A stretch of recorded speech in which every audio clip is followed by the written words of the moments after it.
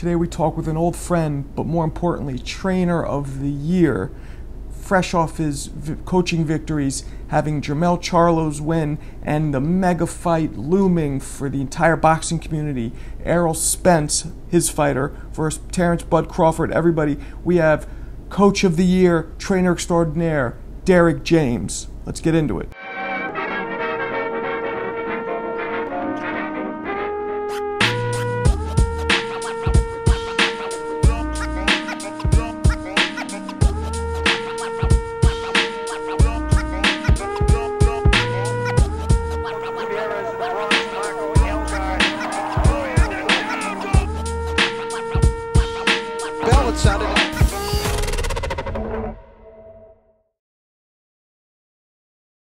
What you There like? he is. What?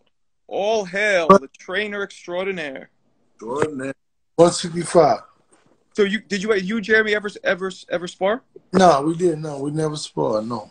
Did you ever spar with um Ron Sims? Yeah, yeah, I did. Yeah, Evans- Did you whoop his ass? Please tell me you whooped his ass. Uh, it was good sparring. I think we. I'm trying. I don't think we ever fought. We just sparred. Uh, You don't like Sims? Not like Sims. I just like busting his balls. Yeah, I do, man. He was like Air Force guy or something. No, yeah, yeah, yeah. Oh, He's in the Air Force. Yeah. Yeah, he He started. was, boxing. he was older than he. He, He was the Alvarez was older than everybody. He Yeah. a- if, you know, but like he was a grandpa. He was 25. Right. I know. like Back then, that seems so old. When when we're like 18, 19. Right. He was a lot older than us. man. He was- 15. I was 15 when I got on the team. You were 15. Yeah. I won. He won national. Yeah, We won national Junior Olympics. yeah, yeah. yeah. I won all that shit. So you guys you guys were both on the Olympic team, right? No, we won the national Junior Olympics. Oh. He was like, but I lost the Olympic trials to Chris Byrd. Oh. Tell. Yeah. What's up, Mike? What's up, Corey Spinks? Um. So wait, uh, Derrick, remind me where you where where'd you grow up again? What state? Houston. Texas. You're from Houston. Okay. Oh, Dallas, Dallas. Dallas. Okay. Okay. And how old were you when you started boxing? Five years old. Jesus. And how many? You know, because I think people need to know your background too. How many amateur fights did you have total? Man, hundreds. I can't even count them. That many. Yeah, I mean, I know in, in all my whole career, with pro and amateur, I lost like uh, 21 fights or something like that. That's good. Out of hundreds. Yeah. We we fought like we we when I saw boxing, we used to fight every week. Every week we used to fight. Yep. And you would fight. You would fight sometimes numerous. T- would you ever fight numerous times in one day? Yeah, yeah, yeah. yeah. We did that too. Heck yeah, man. Damn. They they softened these kids up like shortly after that, but you know, yeah, man, we had to fight more than one time in a day, man. What you talking about? See, you guys never fought. Like when I was um, an amateur as well, there was there was always headgear, right? You guys never fought with no headgear, did you? No, no, no, no, no, no. Hey, Well, when I was younger, they kind of, you know, they you that's when they first started kind of wearing them, you know. But they really kind of didn't wear them before. Hmm. I started boxing like '77, Okay. '97, yeah, And then you Wow. what did you turn pro? yeah, in 1992. Same year as Jeremy. Yeah, yeah, yeah. Yeah, yeah. Sam, we came from. We were on the same. We're in the same four four year group. Yeah, yeah, yeah. Group, yeah, yeah, yeah. Damn, True. Jeremy. When I met you at, at Kevin Rooney's, I had no idea what kind of amateur background you had. No clue. No clue.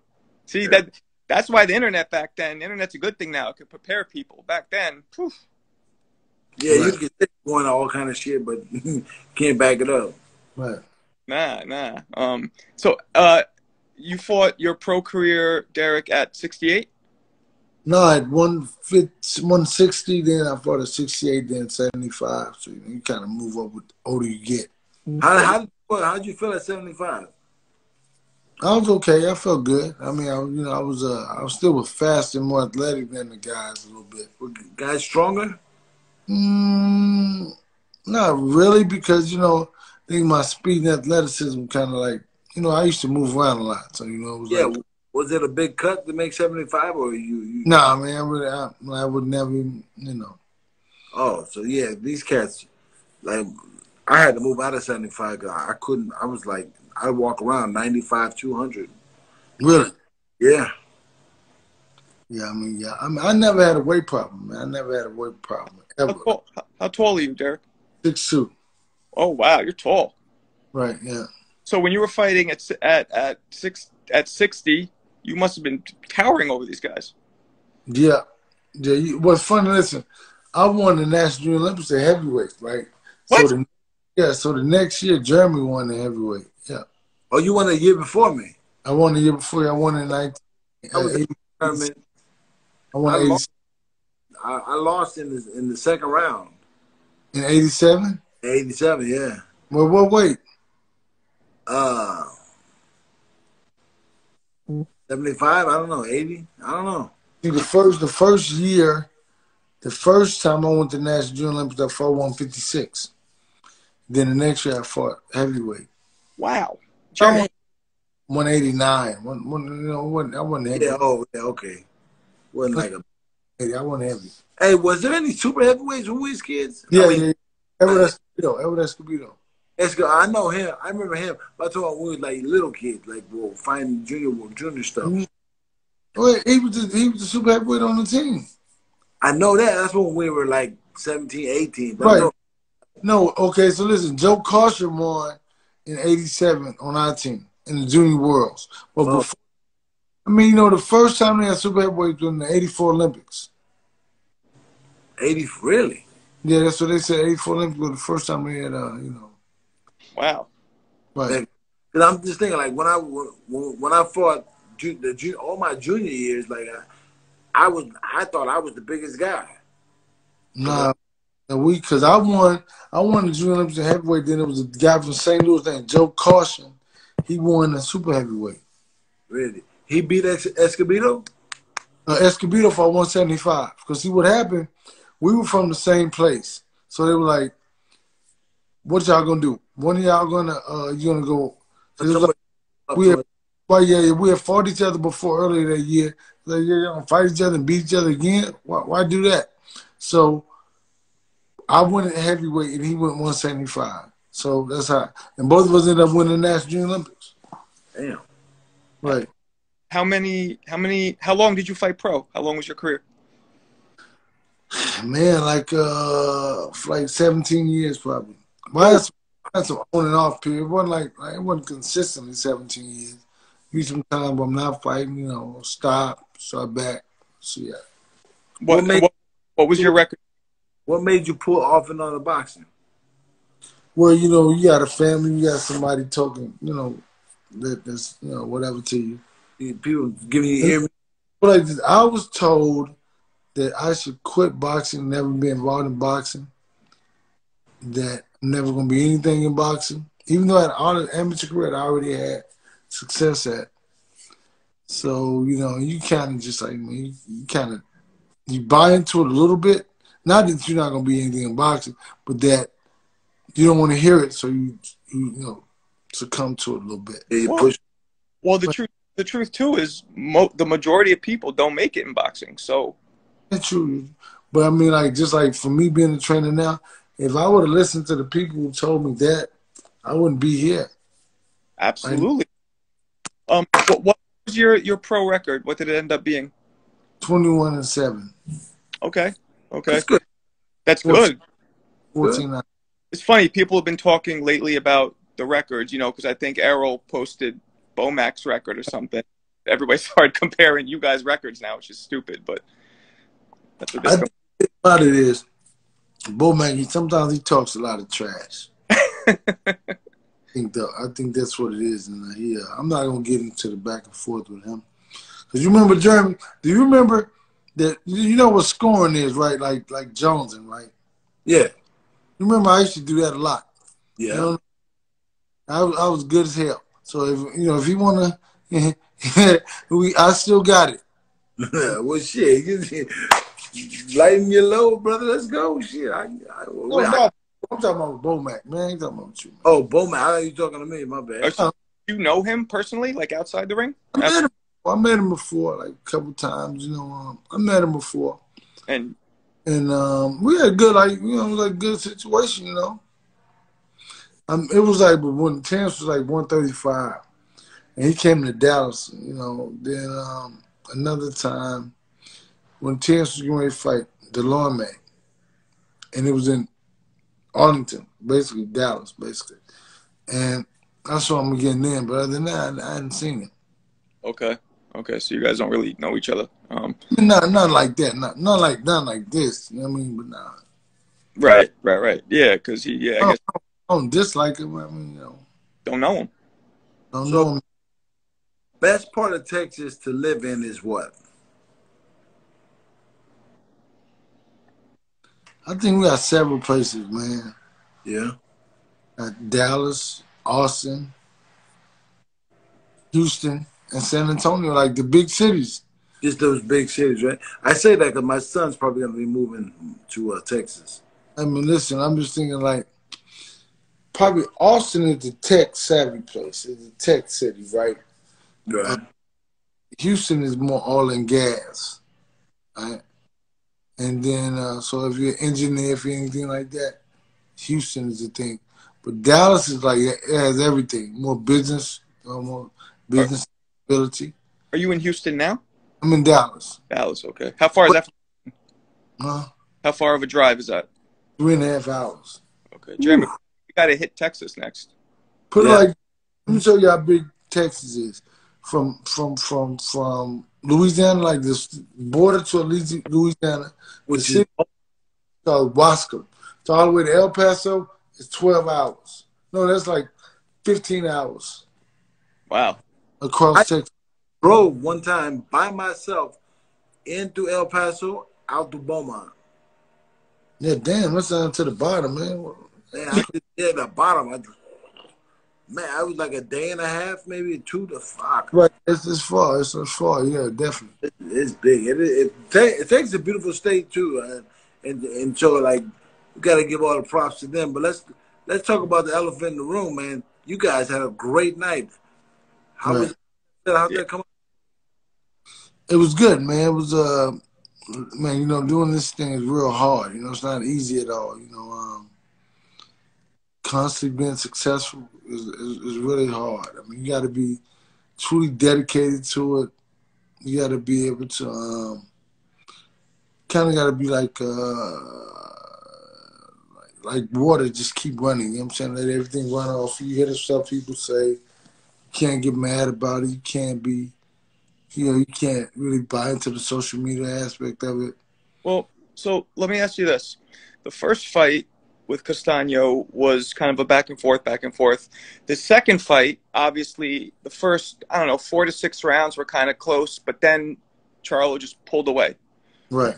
What was done differently? Like, was there something specifically that you guys went in there like, we're going to do this, and this is going to put post over the top? Hey, I can't tell you, but so Say- was, it was it was more of a um, the last three weeks of training camp was a more concentrated, focused interest on implementing my game plan and doing it to the you know to the to the T with the movement and really the movement was a he would have caught him a little bit more like the movement was a little he didn't do it all the way because if he would have did it all the way he would have he would have, you know, it would have been a little more different. He would have caught him with some other shots, but the movement was we used the movement to create the openings.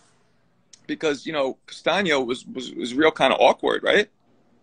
Yeah, he's awkward, man, but he really's like he's really like uh he throws the same punch over and over, same punches over and over, and uh he really. What's funny about I want to say about Castano was that in the first fight when you watch him, when Jermell was hitting him and Jermell's very fast, Jermell was hitting him with those shots. You can see he was bothered by them, but for some reason they convinced him that it's okay that you feel like you won the first fight. It's okay. But I think he let them truly psych him out about how much Jermell's power was hurting him. Because I think that he went back in there this fight. I said, that's going to be the number one thing is that when I look at him and I watch him in the interviews and the press conference, he's talking about what he's going to knock Jermell out. Mm. We did the press conference. He said about four or five times, I'm to knock you out. Oh, he just kept saying it. And I was like, I said, man, he must don't remember how much he was hurt in the fight, Mm. right? And then whenever Jermell hit him, he kind of buzzed him. But what happened is they convinced they they really lost the fight. I think from the perspective before the fight even happened, because he felt like he could run in there and do something different, or try to put the put the pressure on him like Jermell can't punch. So that's really what I think. And those shots were breaking him down because I gonna. You said when he started pulling him away, he well really wasn't he pulling away. That guy started breaking down. Yeah, yeah. So uh, what what do you think was the difference though? Because in the first fight, you know, they were both hitting each other a lot. What do you think was the difference with Jermell's power in this fight? Maybe it's just what more the the, the punches were placed, the, the placement. You know, the, the what do you It think? It was, it was I probably like more about the placement, more about the selection of shots, the variety, and he was just shooting like even from like um like uh the first fight you saw right. It was like kind of like um but this fight was more about him.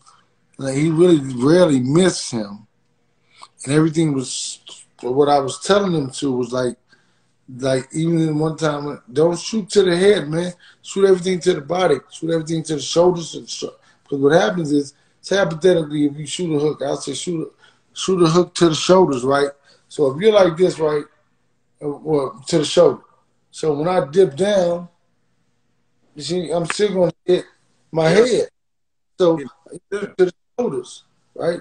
Yeah. And I was telling like, you know, you can throw a jab in the head, moving, shoot to the chest. Mentally, that pay, takes the tolls on you because you keep saying, "Damn, I can't get away from it because he keeps touching me." Yeah, you can hit. Yeah, makes sense. So what happens is, I just said, "Listen, don't worry about hitting him in the head.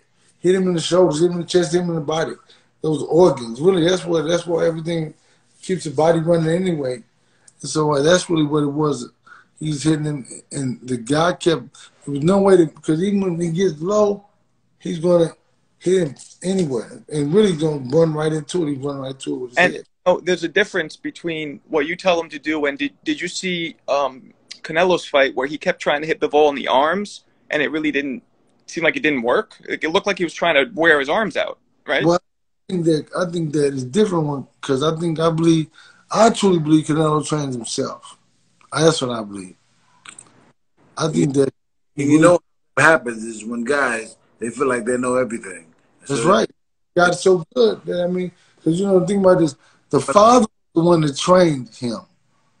The son is his friend, so he kind of just playing. You know, they playing boxing. I think you know, and the son is his friend. They grew up together, whatever.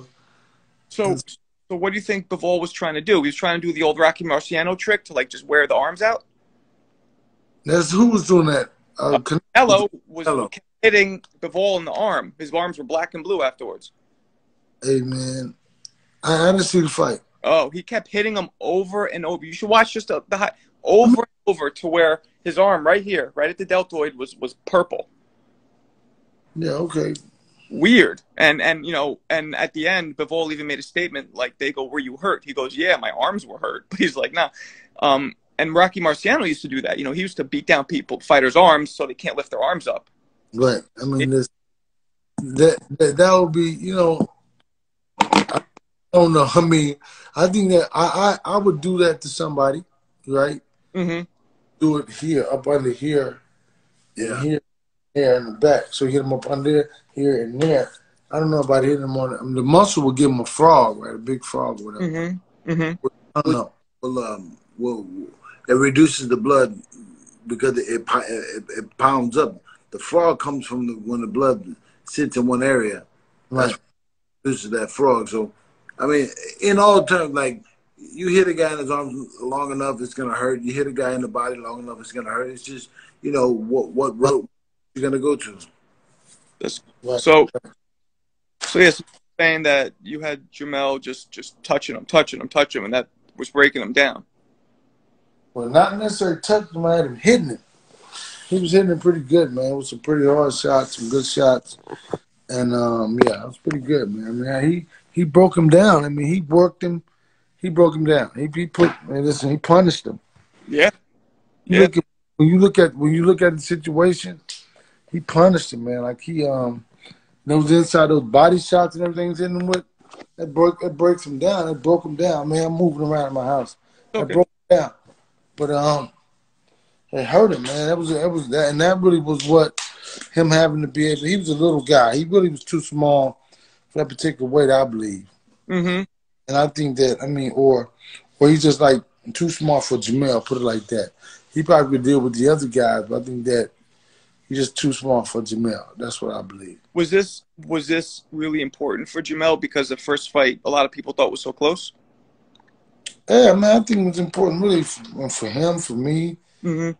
I, I really wanted, uh, man, I really wanted him to be successful and win, and you know, and um, break the. I mean, I really wanted him to beat the guy, but I wanted, I wanted, I, I couldn't see it going to the distance. I mean, I couldn't. There's no way, like that, I could see him just taking Jermell because he had so much trouble with in the first fight. So that's why I was just assuming that there's no way he's gonna be able to um, take that power this time. I couldn't imagine it. And I mean, and that's really what it was. I couldn't imagine. And not to mention, Jermell's counterpunching. He counterpunched so well. Mm-hmm. I mean, so well. I mean, it was just like every time he threw a punch, it was something coming back. So it was like, it was, it was, it was so well, man. He, he Was did that- good. Was that something you worked on in, in, in camp where, where Yeah. you know, I give it, you give it, that kind of thing? Or, Well, it was like, well, really what it was, it was like the guy was a counterpuncher. So you just assume I said this, we're going to counterpunch his counterpunch. yeah, that makes sense. So, and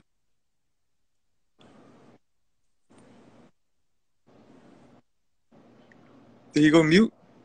Yeah. out of range. Mm.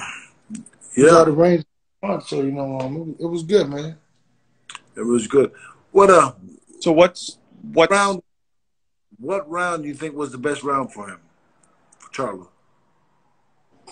10. Other than 10, it probably was like, um, I don't know. Yeah, I mean, yeah, good one. I like, I mean, the back and forth. And this was the funny thing about the back and forth that they were hitting each other, whatever. And that just shows his depth, Mm. shows his ability to um to uh, be able to withstand or endure and continue to keep fighting. You know what I'm saying? So I mean, um, that shows the depth and it shows the ability to carry that power later in the round, just like he knocked out Tony Harrison in the eleventh round, and then he knocked out the Jackson kid when he won the title. It was like in the eighth and ninth, tenth round. So it's like he's able to catch guys in the later rounds. This fight, I think, was his best because he he was so much more active, and he his counterpunching ability was was amazing. and this is is he the first um junior middle undis, undisputed? Right. Yeah, and the four belts. Yeah, yeah. Wow. Yes. It's very, know that? Yes, all four belts. yeah. Damn. So But, what but how would you? uh So you know, one of the some of the you got four belts. Some some you know the, the clock is ticking now. You got you you got to you got to step up and fight somebody else pretty soon or what? Well, well, they got to, the, you know, that's that's with the sanctioned bodies. They got to step up and fight us.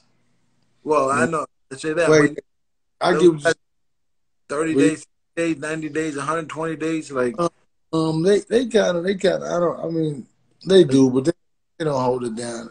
Because what it's like, it's ways to get around that. yeah, yeah. yeah, and Yeah. I mean it must be hard to to satisfy all the sanctioning bodies mandatories because it's four different ones, right? And they don't all have the same fighters that they want you to They, fight. right, they don't all have the same fighters, and they they really have. What's funny about it is I don't. The rules have to change when something like this comes into play. To where because every year you have to fight a mandatory and a you can you can choose one. Mm. So they got a give, a give me and a mandatory. That's right. Yeah, yeah, yeah, yeah, yeah. And so and really the gimme like top ten. So Yeah. really not a gimme, but but it Yeah. is. They can fight. So yeah, let, let me ask you this: Everybody in boxing now is is buzzing about the the one of the most anticipated fights in a long time. Obviously, Errol versus Crawford. right. Um, I know nothing's signed yet, and I know you you know you're not even thinking about it until it's signed. But I mean, how much is this? How likely is this, in your opinion, that this is going to happen this fight? Mm, it's like you uh, work out like Chance Crawford fights. I mean, we're training in the gym, you know, and it's like, um, I know. I mean, I know it's likely. It's just all up to him. Off up to Crawford. It's, it's up to him. Yeah. Errol's ready. But I mean, you know, you know, they, they're making a deal. He doesn't have anybody who can make a deal, that can negotiate for him, or, or, you know, what I mean. So it's like they, you know, they have to be, you know, talk to them, sit down, and do whatever. You know, whoever's his representatives are, you know. And when that fight happens, and we'll talk again, obviously, but do you see that fight being a difficult fight, or do you see that fight going where like Errol kind of has what it takes to kind of, you know, styles make fights, and Errol style will be able to make an easier time of it than most people think. Hey man, I think that. See, the thing about it is, what's Errol's style? I mean, you think about this. He fought Kell Brook one way, Yeah, Peterson one way. He fought uh the the kid he knocked out. That was that didn't count in the first round. Then he fought uh fought uh Shawn Porter one way. Fought Mike Garcia another way. He fought Danny Garcia another way, and then he fought Ugas another way. What's tell me? Tell me what his style is. I mean, I guess if you had to sum it up, he's he's just kind of he's kind of like a yeah, you're right because he'll walk you down and pound on you, but he doesn't always do that. Sometimes he'll box you. Right. Yeah, So Okay. like I said, using like you, you you can't tell. You don't know what he's gonna do until he does it. And listen, and but one thing we know he what his style is, he'll break your ribs and he'll break your face. That's what his style is. That's a good style. I like that style. Listen, listen. He breaks your ribs, he breaks their faces. do you have? So, as your guy is on the top of the pile right now, what at what point in his career do you think he's at? I know it's the hottest spot in the world, but you know, can he climb higher? Which one? Who? Charles, Errol? Errol. Errol, whoever just won that fight. Oh, Jermell. I Jermell. mean, I think that man can't get no higher than the you know undisputed championship. But I think that from a celebrity perspective, yeah, I mean, you know, he can. You can always grow and be bigger and better. That's what I believe. Hasim Jr., what's up? Um, well, uh, let me let me go back to the. Do you feel like somebody who switches stances, you know, goes orthodox, southpaw? Do you feel like hey, that? hey, hey, hey, let me stop that shit. That's some dumb shit. Huh? when you you listen, when you, when you boxing, that's some new shit, right? You know, listen, man. Okay, whatever, man. Nobody care about that stuff, man. You for real? The fuck? Kell Brooks switched up, but he only did it twice. No, we most of these guys try that crap, man. Listen, man. Yeah. Like this, if you prepare for it, what's what's your benefit? I mean, we we prepare. but I'm, come on, man, oh, man, listen, man, that's that's some dumb shit, man. Listen, boxing is about technique, not about more. Boxers today are more about athleticism, Okay. Athleticism, not about skill and technique. We're not saying Berlin wasn't athletic. We're saying he won with his skills. See what I'm saying? These guys win with their tech, with they, leave- they win with their athleticism, their speed, their quickness. When, like I said, some guys who fight, who have fought, when they lost their athleticism, they start getting knocked out, just like regular people, just like everybody else. So what I'm saying is, listen, it's not saying Ray Leonard or Sweet Pea. Sweet Pea was very athletic, right? But he had boxing skills. You know what I'm saying? Yeah. So these kids today generally are they do everything athleticism and quickness, and speed, reaction time, and that's and there's no technique. Chin It takes- It takes a special kind of dude, man, to, to be athletic and be a fighter. It's crazy because yeah, but this is the thing about it. No, no, listen.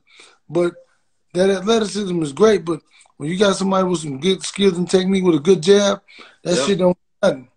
So you don't- So you're saying you're saying that none of that matters. Switching up stances doesn't make a difference. Man, I mean, to some, listen, man, think about this. This is what you gotta understand. To have, so, to a top tier fighter, somebody who has skills and technique, I don't think it makes a difference.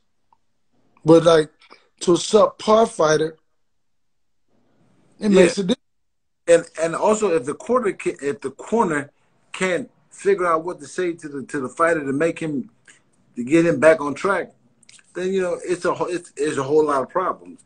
But if if, if the corner's uh, uh, ready for it, Right. you know, and, and the fighter's ready for it, because you know, see, at the end of the day, it's You waiting on, waiting on him to do the shit you want. Okay, waiting on that. Waiting on that. I mean, you know, it's like this. Put it like this too. Nobody's saying he's not a phenomenal fighter. Nobody's saying that. Nobody's not. I'm not saying that. I'm just saying that we fought left-handed fighters. We fought right-handed fighters before. yeah. I mean, like you fight. You know, you go to the Olympics. You, I mean, you have the pro. You fought left-handed fighters. You fight left-handed, right-handed fighters. I mean, and if you get one of them, you get both of them in one night.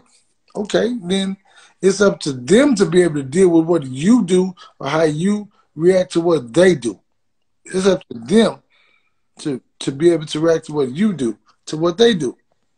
No, I, I do you- agree. you ever look at the fights almost like so the fighters are fighting, but then there's also the chess match between you and the other trainer? You ever look at it like I don't care about that, man. I just- see that I, I think about that all the time, right? But from the from the different perspective of, I, I mean, I don't care about what I mean. Listen, I don't think about the coach at all. I think about what the fighter does, what he's gonna do. You know what I mean? But that's what I'm thinking about. But the funny thing about it is, I think most people think the other way. Like they think about what he's gonna do. I'm, I was like, what I'm gonna do? Like, man, I don't care about. I don't care about that. I mean, you know. I think all these trainers are good at what they do. These guys get to this level, phenomenal. I'm not, I mean, I I'm not thinking about them. You know, I, I listen. Somebody asked me a question similar to that years ago, like when Errol was going to fight Danny Garcia, Mikey Garcia, and I said, the guy, what do you think about it? I said, I think he's a great trainer. I said, but I'm my greatest competition. So what happened was, I said that I traded that, so now I own that. So I'm my greatest competition. I'm not worried about them. Now they may be worried about something else, but I mean, I focus on if I focus on me being the best version of myself, I focus on my guy. Because it's really hard. It's really hard to be consistent. So if you think about Terence Crawford been training, I mean, been world champ for like what, seven, eight years? Mhm. Nine. And so it's very hard. It's very hard to have a guy who's a world champ and to be that consistent. But he had three coaches also. So Yeah. it's very hard too. It's Regardless, you got one or 12 of them. It's still hard to be consistent as a fighter, consistent as that group, that conglomerate, that group of guys to keep this guy to be champ. Then they had the other guy, Jamel Herring. So it's very difficult, just like Canelo. I mean, they may be whatever, friends or whatever, but I think that, I mean, it's still hard to be consistent, to be like me training Jermell and Errol. Very, it was very difficult, man. Very difficult to um, to continue to be on that level and get these guys on that level. Yeah. Man, so it's like people when people see the re- end result, they say, "Oh man, no, man, you don't know how hard it is." Because see, you got to think about this. These guys become champions, and when they become champions for a while, sometimes they go into other things. Mm-hmm. Yeah, makes sense. The hunger goes away a little bit at least. I don't, I don't think the hunger goes away. I think that, hey man, it's easy. Every, everybody trying to get to you. They're trying to get in your ear. The hunger changes. Changes. You, Right. You're still hungry because you you hungry. You stay champion. Right. Become a champion. You want to stay champion. You don't want to say, "Oh man, that was a good fight," but fuck that. Right. I'm Right. gonna right. stay champion. So so the so basically the more successful you're getting, the harder your job is becoming. Hell yeah, because look, think about the level of consistency. Think about it, and then everybody else. Oh, oh, we want to see. We want like people to hit me up. We can't wait to see your uh, game plan. Like, goddamn man, let me live, okay? don't put that type of pressure on me. It's like, yeah, man. So you always gotta think about this. You you got different game plans for different fights. Each fight, strategizing. Then you gotta. Yeah. So for me, I'm more all hands active. I'm like more moving. I'm I'm in, I'm introspective to where I would emulate the. So by me being able to do that or doing that, it's like uh, I gotta be in shape. So it's like, man, difficult, man. Like, listen, it's it's not an easy job to do, and I think people are quick to criticize. Like I said, I mean, you know, man, and this is what I say. Think about this: to be a boxing trainer, for me, for me, I have to be great every day in training. The fighter only has to be great one day. one night. one night, the day of the fight. Yeah. And, and a lot of times, it's like you correct, correct, correct, correct, correct, correct, correct, correct, correct, until the night of the fight, what you see is a phenomenal fight. Wow. And then there's the payoff after that. That's right, yeah, because it's like you. I mean, like yeah, and my job is to be engaged every day. If I go into a fight, I always want to. I'm going training. I always want to be teaching, right? Never working them out. When you're working them out, you're BSing them. You're working them out. You're not even. You don't have to be engaged to work them out. Yeah. that's right. Teach nonstop or correct them. I'm not a fan of my guys either. Like I mean, please, man. I'm not a fan of this. I mean, because sometimes you're so much of a fan, you don't see what they're doing wrong. You only look for the end results. For me, I have to be able to grade them, hand up, hand up, step there. I'm, all, I'm I mean, I'm nonstop. I'm saying that all the time. Right, right. No, I mean, and it's it's a big thing, man. People are talking about comparing the fight to Hagler and Hearns. You know, like, they're putting it at a real high level, and I agree, man. It's it's it's it's going to be the biggest fight in boxing, and it's going to be amazing. You know, for everybody. It's gonna be a big fight. It's gonna be, it's gonna be a big fight.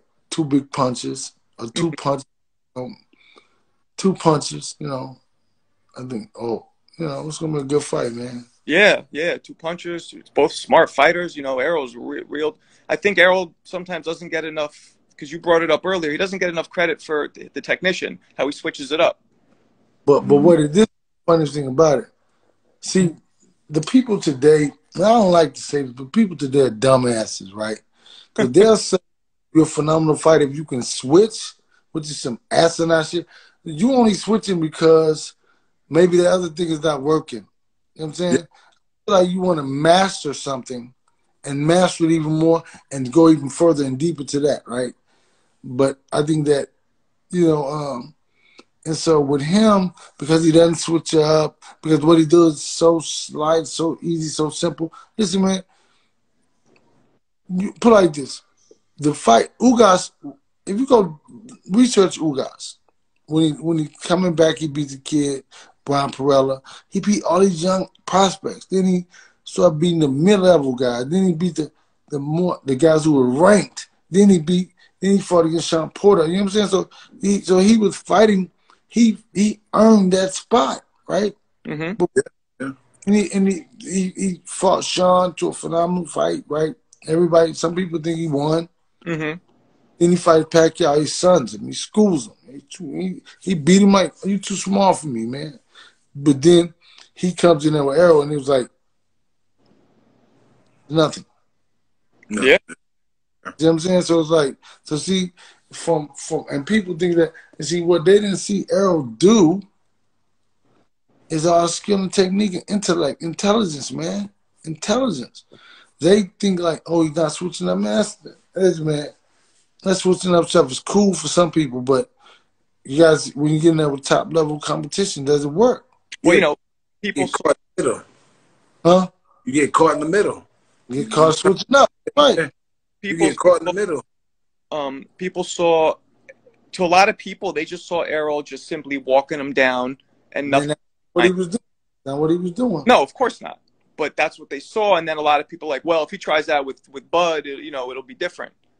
Hey man, listen, man. I'm just gonna say it like this. First of all, he's throwing over hundred some punches around. All of the punches were hard. Dude. The punches were hard. You see what he did to his ribs, his face, broke his face, Mm-hmm. broke his nose. Listen, so, hey man, that was contest. That was, and listen, I don't think I don't know anybody in boxing who could take an ass whooping like that. That's Who not. That's for sure. I'm telling you because I'm gonna tell you why I said Ugas because Ugas was the guy. I told him I said, listen, you're not gonna be able to beat this guy. You got to break him down. All, the whole camp, I was like, listen, we wanted to break him because there's no way. See, this my this this guy escaped six times and got caught Jesus. in Cuba. Yeah. Six times, and on the seventh time he got away. He's in floating in the Gulf of Mexico for two days. He ends up in Mexico. Wow. This dude is like, who who can beat this guy? You gotta break this guy. You can't beat this guy. True. quit. It's He's- up here. Yeah. He's so determined. You see what I'm saying? Who else? This, Americans don't live like that. we, in America, we don't have we don't have lives like that. That's the difference. So that's what I'm saying. I don't know if somebody's so persistent and has so much fortitude to be able to deal with something like that. Think about that, man. The dude was caught six times and he kept trying, knowing that they would do this to him. Knowing that, come on, man. So so that's a that's a testament to Errol's will. If he could impose his will on somebody like that. Right, right, right, right, right. And listen, this is the thing about it too. Because of his age and because he's from Cuba, he's like these are eras of boxers, right? When we fought we fought Jeremy, boxers were more slick. They were more they were more they didn't use athleticism as much. Right? Right. They the boxing skills. So when, when fighting Ugas, I had to be cognizant of that to know that he's a very intelligent fighter. He's gonna try to catch you, you know, Catch- you know, Yeah, catch shots to be here. So it's like you have to make sure when he move, makes his move, you make this move. So you have to counter that, the move, what he's doing. Because you see, every, really, if you go back and watch his fights, man, and like what you did, man, his uh, Errol's offense took his deep his offense away. He had to keep his hands up, and not and block shots, yeah, yeah. protect his body, man. So I'm not saying that. I Understand? I don't know anybody like who can take that type of situation. No. And listen, listen, they, look, and listen. People like, oh, you gonna move around, man? He moved. Look, you don't think Ugas is a what kind of fighter? Wait, wait, where's he from? Cuba, the boxer. So listen, so that's all they do is move in the ring, right? Yeah.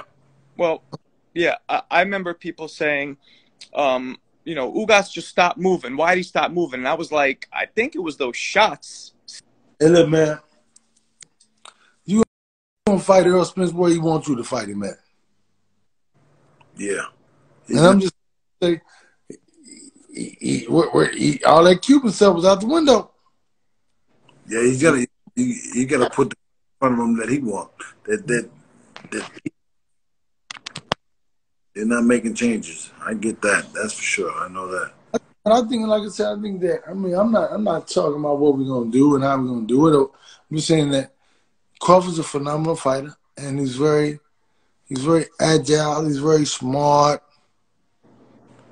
You know, um, and listen, it's gonna be a good fight, man. He has a strong Incredible. too, and I think that's what a lot of people are excited to see those two strong wills just clash. You know, Hey, Yeah. man, we don't know how strong that will is over there. oh, okay, You know, who, who has he ever fought that had to break somebody? Yeah, yeah. We know. We I- know. So the, listen, think about this. The mo- and this is the realest thing in boxing. How do fighters become champions? I'm gonna tell you how. With a phenomenal matchmaking team to help, help build and or develop the fighter. Build and or develop. So you build a fight, you just get him wins. You're not fighting, but to develop him, you're challenging him at each step, each stage of the way. Yeah, yeah, definitely. So those longevity to build a fighter. And I'm not saying he was built. I'm saying that the, the level of competition was different. So I, I how can we say how can we say that? I mean, I don't know. yeah, we don't know, and We know that's we know looking phenomenal, but we know that who because you think about this. How do you say who's a good fighter? Okay, say you fought a guy who was whatever good and you beat him, but then after he, you fought him, he never beat nobody else. right. And you say, okay, well, all right. What about the guys that you beat, but then they beat, they, they kept beating other people and kept kept. And look, look at, or what about the people you beat and you just took everything out of them? Right. Yeah. Yeah, you, you yeah, yeah, that makes sense. So it's like those are three different situations. But They all the, one, the ones that you can tell is a good fight, if you beat them, then you come back and just get better and beat somebody else. Right. Yeah, but But- see, some, some guys once you when you beat them one time too many, they're done. Man, it's done. Yeah, yeah. Because, I mean, the gig is up. They, Yeah. Yeah. they- I mean, and this, go ahead. No, it depends on how you beat them too. You know what I'm saying? Like you Yeah. beat them.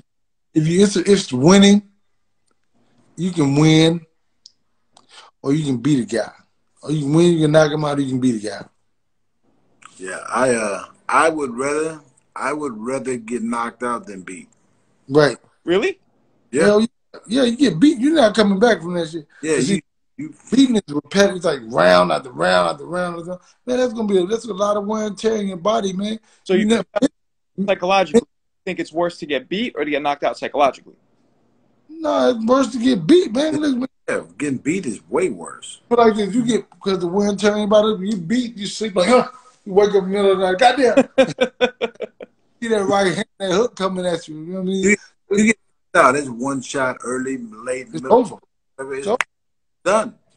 You get beat. You get beat every round, And it's mentally, whole night, and then in your mind you're like, man, why I can't beat this guy? Then Yeah. you on yourself. Yeah, I mean, no, and, and what you were saying was right. Uh, Spence's resume at, at 47 is definitely deeper, and he's beaten, you know, definitely, definitely a deeper resume. Um, but not even at 47, go to go to all the other 35 or 30, whatever the weight. he- Like, look the whole thing. You know, but listen, think about this. If you think about this, when I was we talking about the difference between beating and getting knocked out, look how Bernard Ogden beat Felix Trinidad. Yeah. He look think about this. That was a horrible because everything he had done his whole career meant nothing when he fought that guy. Yeah, Bernard Hopkins took it. Took it. Mentally, he, he's questioning himself like, damn, he Bernard never Hopkins crushed, bro- broke him. Yeah, yeah. Everything he had up, the way he dominated people, beat people, knocked people out, none of that meant nothing when he fought Bernard Hopkins. no, Because everything he had done to beat everybody else was like, what the hell? He- I mean, so mentally he's lost. It's destroyed mentally and emotionally because boxers are very emotional people. yeah. Uh, yeah, man, he was destroyed mentally. What percentage would you say of of mental is boxing? Ninety-five. Yeah, that's a lot, man. What do you a think, lot. Derrick? I think that shit, man, it could be like 95, 98, because I mean, the physical aspect is something too, but I think that the the mental, man, mental is like, you, you don't know what it takes to get a guy in the ring, to get him in a fight, to get him in the ring. I mean, just depends on, man. I don't know. No, it's, it's a lot. Like immense. If you are not fights, I lost four fights in my career. All four of those fights I lost before the fight, I knew I lo- I lost. I already knew it. I just went out and let that happen. Yeah, you can't. You can't win. A, I think you win a fight in the training camp. I think. You, I mean, you win or lose a fight in training. Really? There's nothing you can do in a fight to change it. It's all about preparing. I think for the fight. Before the fight, you have to be prepared for everything. I think that. Wow.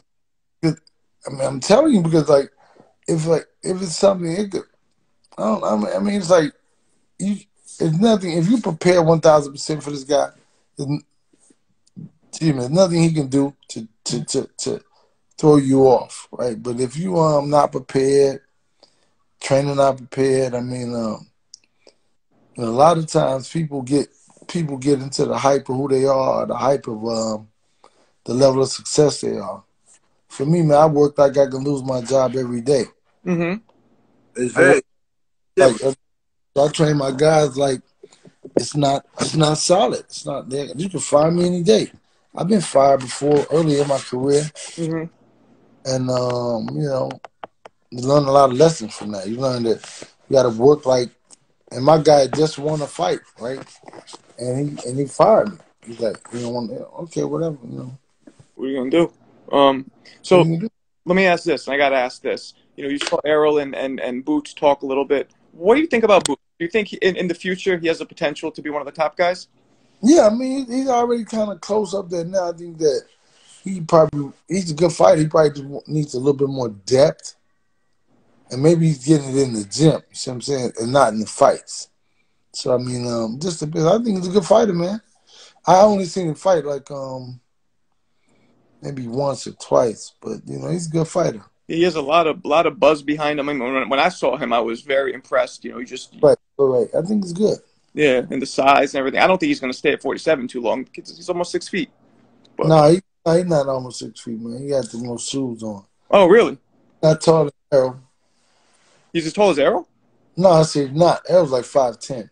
and Boots was shorter. I think he is. Oh, I didn't know Errol was 5'10. I thought Errol was like five eight or nine. Okay, About about five, maybe about five nine, nine, five ten, something like that. okay. Yeah, I heard. Um, and is is how is Errol comfortable at 47, or do you think he's going to go up after this? And man, he gonna stay stay there for whatever he want to stay there for. You know, I mean, this one is something he wants. You know, so Right. you never, never know. Right, right, okay, yeah, because um, there was always talks of him. You know, it's hard for him to make weight at 47, and he used to. I heard he used to play football. He used to be what 200 pounds. I don't know if any of that's true, but No, no, I don't know about that. Now, I mean, he played football, but nah, I mean, not in the two hundred pounds. I'm sure.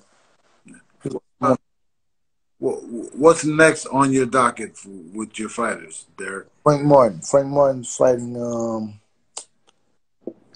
uh June 18th in Houston. Okay. Frank, and what? uh, What's that? 54, 56, No. 35. 35. Okay. Yeah, so how many fighters do you have now total? Five of them. I trained five guys. Okay, Done. No more. no more. No, well, No, you wouldn't take one. That's a busy day, though. Five. really, man, it's at some of my limit. You know, it's like you can't. I mean, you know, really, you can't be effective. Be great, I think, with training more than that. And I like what you do. How you keep the gym private. You know what I mean. You keep everything Right, focused. right. Right. I mean, it's not a party, man. It's not. It's like you come in here to work. We don't need, you know, not playing games. I mean, uh, it's not a not a show and tell. You bring your whole run. I mean, you know, people at home. If I worked at McDonald's, my family ain't coming to the gym with me. Hey, hey, help me with them fries, cuz. Yeah, that's right. Yeah, come on, man. Nah. So it's like, nah. It's like I think that we want to be able to get away from the situation. Go to work, go to the gym, and be done with it. Yeah, you treat it, treat it like your jobs and, and you know, Right. Respect like a job. That's good. That's good. Well, Derrick, well, we've been on the phone with you for an hour, man. We appreciate it, brother. Thank you. Yeah, man. Good talking to you. Let's let's uh after the fight's official, let's talk again. Right. Yes. Yeah. All right, brother. All right, take care. All Deuce. right, man. Peace out.